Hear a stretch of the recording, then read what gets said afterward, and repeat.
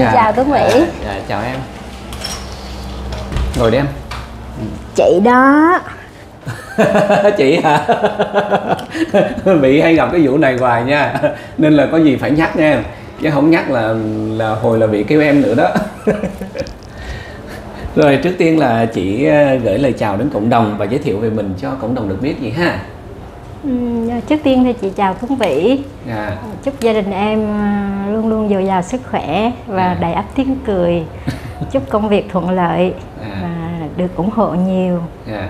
Ờ, em à, xin gửi đến à, quý cô chú anh chị cộng đồng mạng trong và ngoài nước là chúc tốt đẹp, chúc tất cả được bình an. Dạ. Rồi ờ, chị tên gì và đến từ đâu ha? Tên chị đầy đủ là Nguyễn Thị Kim Khuê, à, quê gốc thì ở Quảng Ngãi. Nhưng mà chị vào sinh sống à, mưu sinh ở Sài Gòn cũng được 10 năm rồi. Chị hiện tại ở Sài Gòn. Dạ. Thưa chị là chị Kim Hoa hả? Khuê, Khuê. sao Khuê? À sao Khuê? Dạ. Ừ, chị Khuê. Vậy là chị Khuê sinh năm mấy? Chị sinh năm 1973. Ồ vậy hả? 1973. Bởi vậy 73 rồi năm nay là 49 tuổi chị ha. Đúng rồi. Rồi em, em thật sự mà nói là em nhìn chị em không có nghĩ là chị sinh năm 73. Bởi vậy cho nên là em mới em mới chào em. Không sao. dạ. Bây giờ nè, chị Khuê có cái sợi tóc nó hơi dướng cái mũi của mình à, bên bên bên này. Đó, đúng rồi nó đẹp rồi đó.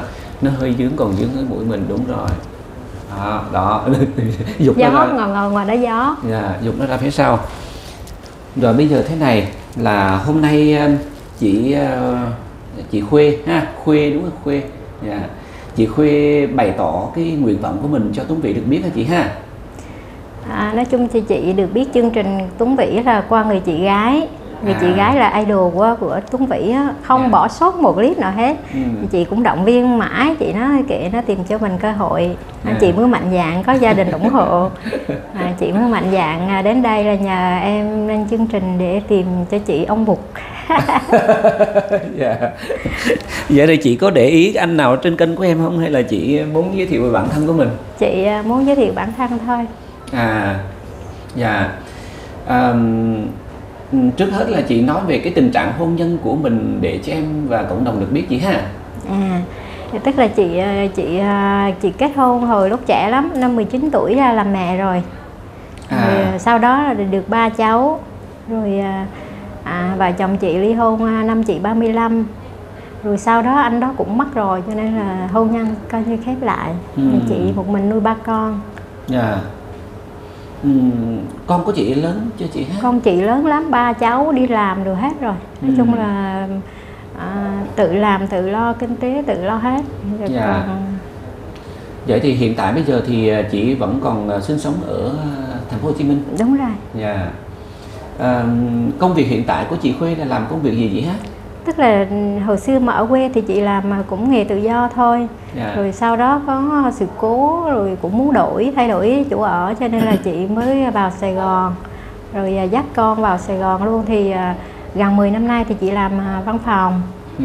nhưng mà sau rồi bây giờ lớn tuổi rồi thấy ngày 8 tiếng mà lương ba cọc ba đồng nó cũng ít quá nó Dạ. cũng thứ nhất là nó kìm hãm thời gian mình mà thứ hai là nó cái kinh tế nó cũng không có được như mình mong muốn cho nên Dạ. là chị chị vừa mới nghỉ việc được 2 tháng Dạ. Cái chuyên môn của chị Khuê là làm chuyên môn gì chị? chị thì dễ lắm buôn bán rồi nói chung là chị chị thích buôn bán kinh doanh Dạ. buôn bán chứ còn nhân viên văn phòng là cái buộc thế thôi chị cứ Dạ. làm thôi Hôm bữa chị Khuê làm văn phòng thì làm bên cái lĩnh vực nào? chị làm bên à, văn phòng bên à, công ty tư nhân bên à, à, hà, hà, hà, hành chánh nhân sự Ừ. chứ không phải bên mảng kinh doanh Dạ. Dạ. Còn hiện tại thì à, chị buôn bán về cái lĩnh vực nào hay là làm cái gì chị chia sẻ chút được không? ví dụ như chị à, chị ước ở Sài Gòn thì dễ làm lắm nhưng mà cái gì một mình thì cũng không làm được Ừ. thứ nhất là tiền không có nhiều không có nhiều rồi thứ hai lực cũng không có ai phụ Dạ. Nên là nó cũng khó giờ tạm thời chị nghĩ à, xả hơi đó để tự Dạ. thưởng bản thân mình những tháng ngày à, Dạ vất vả. à, vất vả đó rồi bắt đầu chị tính tiếp chứ Dạ. còn hiện tại thì à, giờ muốn mở ra một cái gì đó nó cũng rất là khó Ừ. có một mình khó lắm Dạ. Vậy là chưa kiếm được việc làm phù hợp chị ha. đúng hiện rồi tại ha. đúng rồi Ừ. Ờm, cái việc đó thì cũng rất là dễ hiểu và cuộc sống thì em thấy cái điều đó nó xảy ra thường lắm có nhiều người đó thì ví dụ như là học đại học ngành này nhưng mà sau ra thì lại làm về cái việc khác ừ, à, rồi. cho đến là nhiều em thấy tình trạng là có nhiều giáo viên này kia cũng nghỉ dạy vì do cái thu nhập cũng không ổn định hoặc là một cái nghề gì đó trong cơ, cơ quan nhà nước à, thu nhập nó ít nên buộc là lòng người ta phải ra ngoài để người ta buôn bán này kia thì cái việc đó nó xảy ra nhiều lắm Ừ. Dạ. Thì à, em cũng hỏi để mang tính là để um, cho chị chia sẻ một chút xíu về cái khả năng của mình. À, đôi khi ví dụ như chẳng hạn như anh ấy ảnh đang còn cần một cái người vợ biết buôn bán hoặc là có cái um, chuyên môn nào đó mà phù hợp với ảnh chẳng hạn như vậy để về đôi khi được phụ giúp vợ chồng phụ giúp nhau à, thì cho nên là em buộc lòng em phải tìm hiểu chút xíu vậy thôi à. À, còn um, về cái à, tính cách rồi à, cái sở thích của chị chị có thể chia sẻ chút để bên kia hiểu được chị ha Về tính cách chị thì ờ, nói chung là là Vĩ hiểu rồi người mẹ đơn thân mà nuôi con cho nên cũng ờ, bề ngoài cũng mạnh mẽ lắm ừ. nhưng mà bên trong thì hơi mít ướt ừ. Ừ. rồi à, còn à, ước mơ thì ước mơ nhiều lắm Ừ. nhưng mà mình cứ nghĩ là chắc mình không có được may mắn nên thôi tạm không có nói lên đây bao giờ mà. Cứ cầu nguyện đi cho nó ước mong nó như như như, như mình nghĩ. Chứ còn bây giờ mà ví dụ như phụ nữ mà nhiều nhiều cái điều ước lắm mà chị Dạ. chỉ ước là ước sau những ngày còn lại cho chị gặp ông Bụt thôi. Dạ. Ờm, hôm nay đó thì mình cứ bày tỏ hết cái nguyện vọng của mình chị ha. Bởi vì ở cái chỗ thế này à, khi mà mình kiệm lời quá đó thì bên kia không có hiểu được về mình nhiều. À, cho nên là cái việc ở đây đó là mình bày tỏ để bên kia hiểu được ít nhất là tính cách của mình. À, cho nên là cái người mà nói nhiều đó là người ta thường là người ta hiểu về mình dễ hiểu. Còn cái người ít nói không không biết người đó là sao để mà đoán hết trơn á. Cho nên đó là trước hết bây giờ ta cứ nói về cái chuyện mơ ước trước đi. Cái mơ ước khác mà cái tiêu chí là khác ví dụ bây giờ em hỏi chị là chị chọn một người chồng thế nào thì cái chuyện là chị chọn là cái chuyện khác còn cái chuyện mơ ước thì chị thoải mái đừng có e ngại. Chị cứ nói hết đi.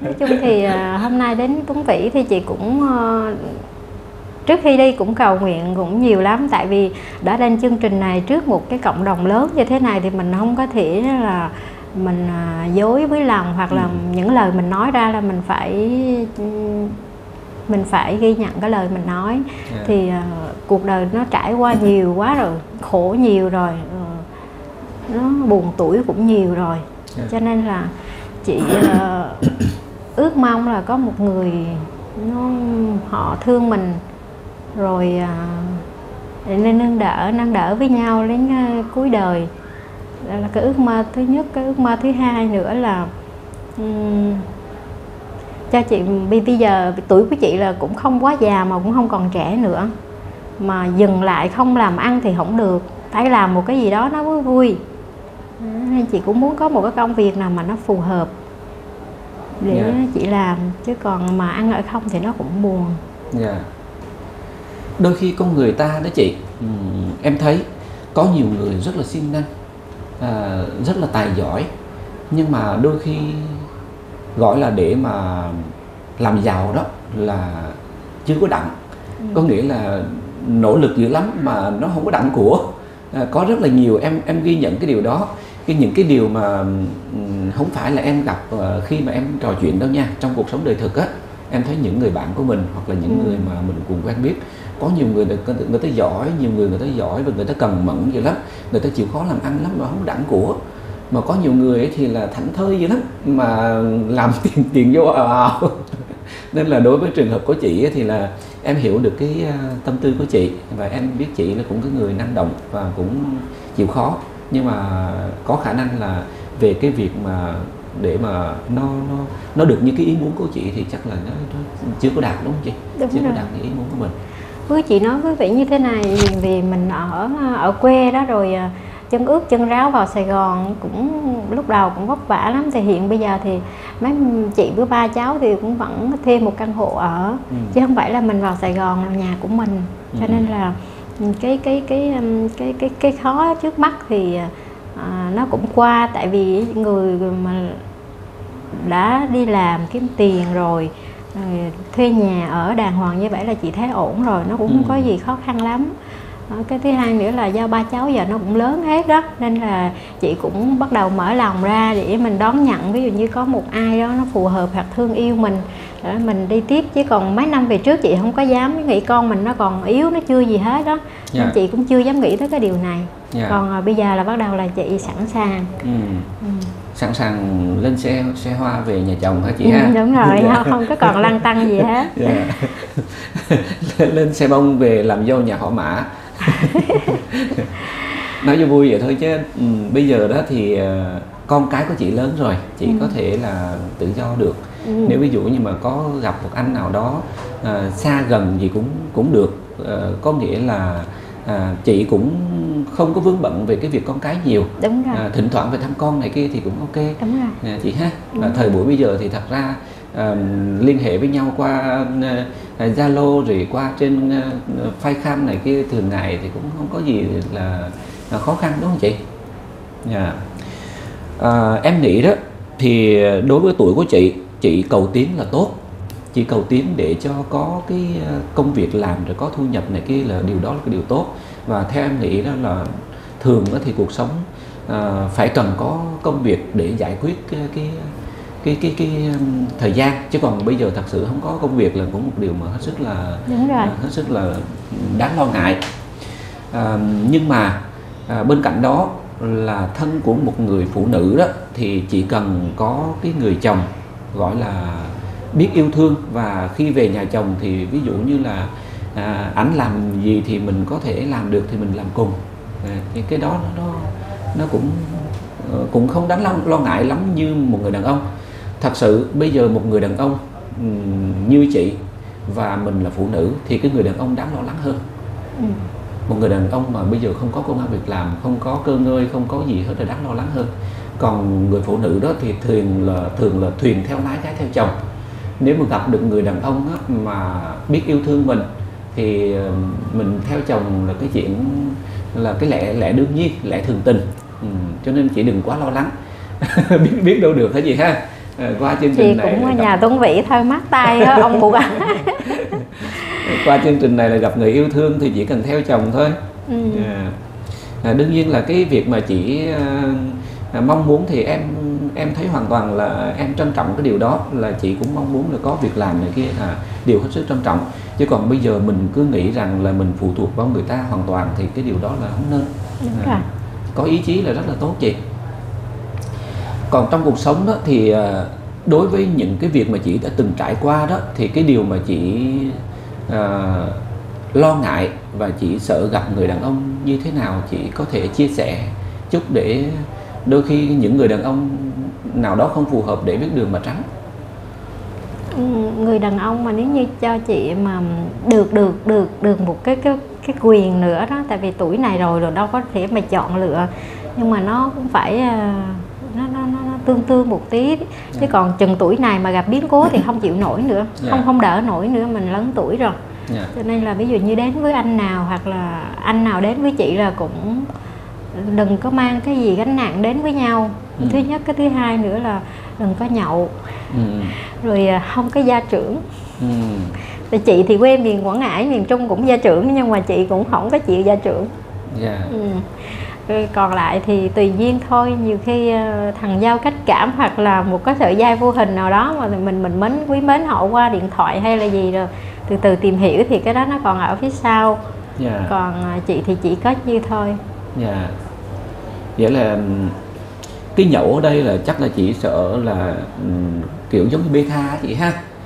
Ví dụ như mà thế này này không phải là beta nhưng mà này ví dụ như là công việc rồi anh ấy nó ờ, là anh ấy là đang tiếp khách hay là là đi tiếp khách hay thế này thế kia rồi nó cứ nó cứ cái dạy hoài đó mà cỡ, cỡ tuổi này là thích ở bên nhau à Ừ. người, người đi trước người đi sau thích Dạ, vậy á chứ dạ. còn tại vì cuộc đời chị là nó không phải là thiếu thốn tình cảm quá mức đến như vậy nhưng mà mình nghĩ là đâu có biết được sống bao lâu đâu mà nếu như mà trời cho được một người nữa thì cứ người đi trước người đi sau vậy đó nó vui Dạ. Ừ. Chứ đừng có cái tình trạng mà nói anh ơi anh ở đâu vậy, nói anh đang nhậu với bạn một chút. Rồi này đó kia. đó đúng Ngủ rồi trước đi hoặc này kia Ừ, ha. thôi, buồn lắm À, buồn lắm. tại vì từng tuổi này rồi là không có không có chịu được vậy nữa đâu không Ừ. không không không chịu nổi Dạ.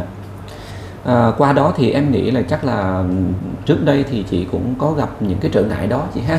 Chắc là có chị thì khi mà ly hôn ông xã rồi tới giờ thì chị chưa có mở lòng với ai hết Ừ. thật sự tại vì lúc đó con chị còn nhỏ quá Dạ. Ờ, cũng rất nhiều người nhưng mà chị nghĩ đến với họ lúc mình trẻ là mình phải sinh con phải có một cái gia đình mới thì Ừ. lúc đó mình con của mình nay nó bị bơ vơ mà bản thân chị là đã một câu ba mẹ Dạ. cho nên là chị chị khát khao mà chị thèm muốn khi mà mình mồ côi đó nên là chị hy sinh về cái thôi ừ, ba mẹ đã dạy rồi thôi ráng nên chị không có đi bước nữa lúc còn trẻ để Dạ. ở dạy nuôi con Ừ, miết tới con trưởng thành mà chị cũng tâm nguyện là con đâu vào đó hết thì mình mới tính con đường của mình thì hôm nay được cái duyên nhờ chương trình Tuấn Vĩ cho nên là chị cũng mạnh dạn Dạ. ừ, đến để bày tỏ À, vậy thì ờ, cái cái việc mà chị chọn một người trong tương lai thì về cái việc tuổi tác này kia thì chị muốn từ cái khung tuổi nào? Ờ, nói chung đừng có lớn quá Ừ. Dạ. À, đại khái là từ cái khung tuổi ờ, ờ, khoảng bao nhiêu để cho mấy anh lường? cỡ khoảng ờ, hơn chị năm sáu tuổi cũng được rồi Ừ. Dạ. Ừ. Dạ, đại khái thì à, em cũng hỏi vậy để mang tính là để coi à, bên chị chỉ có quan điểm về cái tuổi tác ra sao hoặc là chỉ cái ý thích thế nào thôi. Còn trong thực tế đó thì em nghĩ đó là khi tiếp xúc mà hòa hợp thì cái tuổi tác nó không là vấn đề, không vấn đề gì lắm. Chẳng hạn như bây giờ chị nói là hơn chị ờ, từ 5 6 tuổi này kia vậy nhưng mà biết đâu ví dụ như có anh đó hơn chị 1 2 tuổi à, hoặc Đúng là rồi, bằng tuổi đúng rồi, à, đúng rồi. hoặc là bằng tuổi thì đôi khi hợp nhau thì cái chuyện đó là cái thì nói chung là trong cái khung tuổi đó, dạ, đó dạ, ờ, hợp nhau thì cũng không có vấn đề gì. Hoặc là đôi khi ví dụ chẳng hạn như hơn chị cả chục tuổi nhưng mà rất là hợp nhau và mọi thứ nó nó tốt thì cũng không có hề hấn gì. Vậy ha? Chị chỉ sợ là cỡ tuổi này rồi 50 60 rồi mà về lỡ vấp nữa chịu không nổi. Ừ, sợ lắm chịu không nổi. Dạ. tại vì những cái khổ những cái buồn tuổi là chị đã đi qua hết Dạ. rồi. Bây giờ là cái tuổi vui thôi Dạ. cái tuổi là là là là để cho những ngày cuối đời của mình mà lỡ có cái gì là cha sợ lắm bởi vì anh ở ngoài không có dám chọn anh Dạ. rồi mới ờ, đi xuống Tuấn Vĩ nhờ Tuấn Vĩ Dạ. Thật ra thì à, cái điều mà chị à, bày tỏ đó thì chị quý mến chương trình của em thì em em cũng rất là cảm ơn chị và cũng rất là tự hào về điều đó. Nhưng mà thật sự đó thì là ở môi trường nào cũng có cái này người kia. Cái nào cái này người kia môi trường nào cũng có. À, bên chương trình của em á, thì em cũng ừm, tự hào được một điều là mà khi mà đã lên đây thì mình cũng giảm bớt được cái điều mà ví dụ như chẳng hạn như là đã có vợ có chồng này kia mà lên đây thì nó cũng hơi ờ, hơi khó Ừ. à, cũng giảm được rất là nhiều đáng kể về cái việc đó à, bởi vì nói trước cộng đồng mà Đúng nói trước rồi. cộng đồng rồi ở nhà bạn bè cũng nghe hàng xóm cũng nghe rồi này kia đồng nghiệp cũng nghe hết à, cho nên là khó nói dối và nếu có nói dối chăng là em thấy phản hồi liền. Ừ. à, ví dụ như hôm nay nói dối là ngày mai là em thấy comment là em em thấy phản hồi liền đó. Chị cũng có đọc bình luận dạ, dạ. cho nên là cái chuyện nói dối cũng tránh được ờ, rất là nhiều. Nói chung khi lên đây rồi là mình phải nghiêm túc hết tất cả chứ còn mình dối thì không được. Dạ. Trước cộng đồng mạng lớn dạ, lắm trước cộng đồng mới được. Nói dối. Cho nên là người ta mới có câu là trai khôn tìm vợ chợ đông à, gái khôn tìm chồng ở chốn ba quân. À, cái cái nơi mà đông người thì là không người này biết người khác sẽ biết về anh ấy chị gái chị mê chương trình này lắm chị không bỏ có clip nào hết á. Dạ. clip nào chị cũng coi hết á. Dạ chị? Chị nói gửi lời thăm đến em á chị kêu dạ, ừ. dạ vậy đó hả? Dạ. để về cho em gửi lời thăm ờ, chị ấy ha chị chị của chị ha. Dạ. Cảm ơn ờ, chị ờ, cũng như là hôm nay em được trò chuyện với chị Khuê thì em cũng rất là vui khi mà em thấy được cái sự chân tình của từ chị còn cái điều mà nguyện vọng của chị đó thì ờ, thật ra mình bày tỏ mang tính là để trò chuyện để bên kia hiểu được cái tính nết của mình rồi nhìn được khuôn mặt của mình. Chứ còn gọi là để mà hiểu về nhau đó thì ờ, trong tương lai nếu ai mà muốn làm quen với chị Khuê thì em sẽ ghi nhận người đó. Em ghi nhận người đó rồi em sẽ cho chị Khuê xem. Rồi đôi bên có cảm tình với nhau thì mặc sức mà tìm hiểu nhau. Nó, nó, nó ờ, thoải mái và hơn nữa là có nhiều điều mình cần tìm hiểu cần biết hơn vậy ha? Ừ, chị cảm ơn Tuấn Vĩ nhiều. À, cuối cùng nữa đó thì à, chị Khuê có muốn à, nhắn gửi điều gì hoặc là muốn gửi tới cộng đồng điều gì thì chị cứ tự nhiên rồi mình kết thúc buổi trò chuyện ha. Yeah. À, cuối buổi à, hội gặp mặt Tuấn Vĩ thì à, à, em à, muốn gửi đến cộng đồng mạng lời chúc tốt đẹp chúc cho tất cả được mạnh khỏe ai cũng được hạnh phúc hết chứ không có ai um, bị khiếm khuyết giống như là trường hợp những người đã từng đến Tuấn Vĩ mong chương trình à, của Tuấn Vĩ mỗi ngày à, là à, được nhiều người biết hơn và giúp đỡ được những mảnh đời bất hạnh giống như em tìm được niềm vui Dạ. Ok chị ha. Rồi um, em chúc chị sớm có tin vui. À, nếu ai muốn kết nối với chị Khuê thì em sẽ ghi nhận chị nha à, chị cảm ơn Tuấn Vĩ Dạ. nhiều Rồi, để mình chào tạm biệt nhau chị ha. bye bye Dạ, dạ. Phiền chị Khuê đó cầm cái micro này ra cài cho cái người tiếp theo giùm em. dạ Dạ. chị chào em nha Dạ, dạ.